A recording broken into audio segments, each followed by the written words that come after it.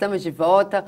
Hoje nós estamos conversando com o professor Severino Celestino, estamos comentando é, Nos Passos do Mestre. É um documentário que logo mais estará aí nos cinemas e, e que acreditamos vai surpreender muitas pessoas pela, pela qualidade e pelas mensagens que traz, esclarecimentos acerca dessa passagem de Jesus pela terra, que foi importantíssimo e que é, continua sendo, né, né Severina? Porque ele é o nosso guia, é o nosso. É, na, verdade, é, na verdade, Jesus dá uma senha muito importante lá no Evangelho de João, capítulo 17, versículo 5, quando ele se despede da missão cumprida, que ele diz: Pai, chegou a minha hora Honra teu filho com a honra que eu tinha quando eu me encontrava contigo antes da criação dos céus e da terra.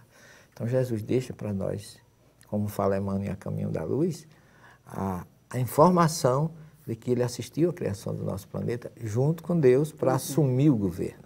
Então tudo é um projeto dele, desde as civilizações pré-bíblicas, babilônios, assírios, sumérios, todo aquele povo, os egípcios que vêm depois, com a sua noção de imortalidade da alma, das pirâmides, que são verdadeiros tumbas à imortalidade, que eles acreditavam que ali os faraós iriam despertar.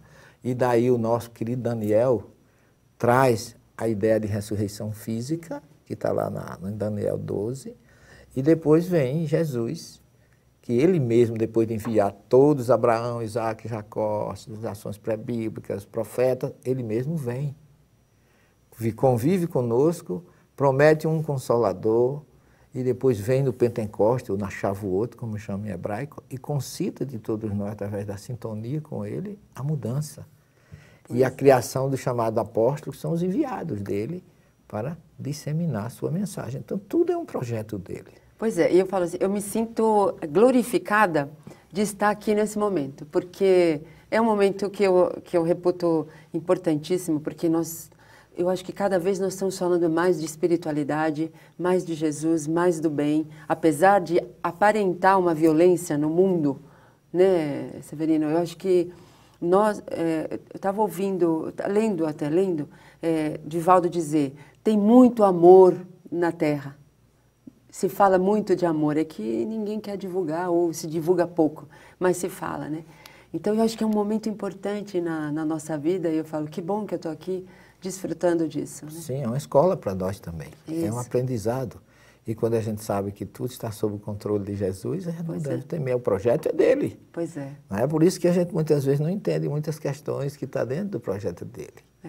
Mas ele enviou um, um Moisés sintonizado com o monoteísmo de Abraão, que implantou com os Dez Mandamentos recebidos lá no, no uhum. alto do Monte Oreb, que fica na planície do Sinai, com 2.282 metros. Que você foi lá, né? Eu estive lá e recebi uma grande lição, porque quando a gente chega no deserto, absolutamente não tem nada. nada né? Mas o céu do deserto à noite é, é fantástico. É lindo, né? E você descobre também que no deserto não tem nada é, espiritual, vamos dizer assim, não tem nada material do que a gente espera. Água, árvores, plantas, rio, não tem mas tem, tem Deus. Tem Deus, né? Então faz com que o deserto lhe aproxime muito mais de Deus, como o que acontece, nos dá o grande exemplo de Davi, que sendo perseguido, injustiçado, ele entra no deserto da Judéia e ele compõe o Salmo 23, que diz, que é. aqui não tem nada, não tem, tem muita perseguição na retaguarda, nada na frente, eu estou no deserto, mas, mas Deus é o meu pastor. Muito hum, bom, né? Por isso, ele não me faltará. E nunca nada me faltará, porque o texto original nos repõe, Yahvé Roi, Deus é meu pastor, Lo é Rissá. Não me faltará. Rissá é o incompleto, a primeira pessoa do futuro do verbo faça sofrer falta em hebraico. Então é a confiança de Davi que é, é despertada ali num ambiente que não tinha nada. Não tem lição maior. Todos os grandes vultos foram ao deserto, né? Você vê Moisés foi ao deserto, Jesus foi ao deserto da Judéia. Quer dizer, a história da, daqueles grandes vultos da humanidade passa sempre para ir a um deserto para reflexão. Isso, isso é muito bom.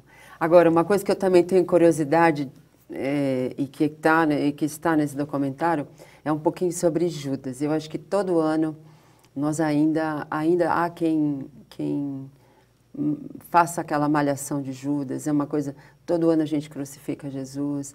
Eu acho, no meu entender, nós tínhamos que mudar um pouco isso, né? Mas será que a gente vai conseguir mudar isso, Severino? Na verdade, está, já estão mudando as coisas. Foi descoberto lá no Alto Egito um evangelho em copta, que é uma mistura de egípcios com hebraico, que, com grego, desculpe, que esse evangelho fala de um diálogo de Jesus com Judas, dizendo: durante séculos serás incompreendido, mas no, no final vencerás.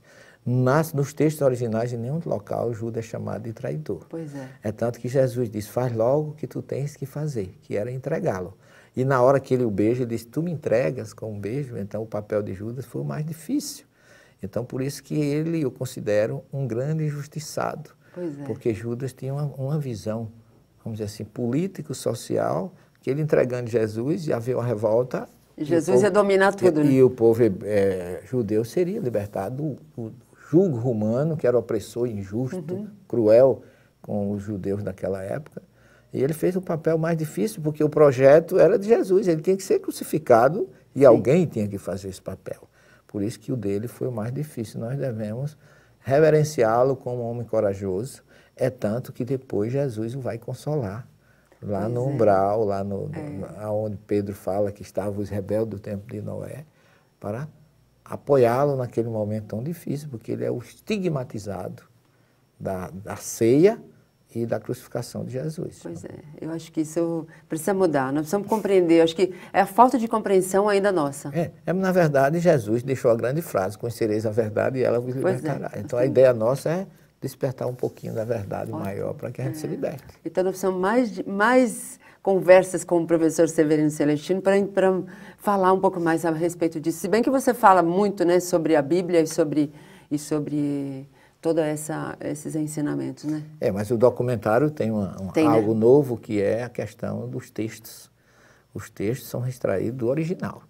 Então Jesus não chamou ninguém de bem-aventurado, que é uma coisa que né? choca, isso. porque isso, mas isso não é uma criação minha. Eu fui original pesquisar, porque a palavra que Jesus usa como bem-aventurança, que o grego chama de makarioi, que é achirei, não é bem-aventurado, é avançar, ir em frente, não ah. desistir naquele momento de opressão romana não responda, não mate o romano, mas sejam perseverantes, que era o ensinamento de Jesus. Sim, sim. Aquele que perseverar até o final, vencerá. Aquele que põe a mãe no arado e olha para trás. Então, todo sermão é de exortação a uma certeza no futuro. A uma ação no bem, né? No bem, para conquistar uma bem-aventurança, sim, no futuro. no futuro. Porque a Shirei também pode ser bem-aventurado, como está lá no Salmo número 1, que é uma interjeição e não um verbo.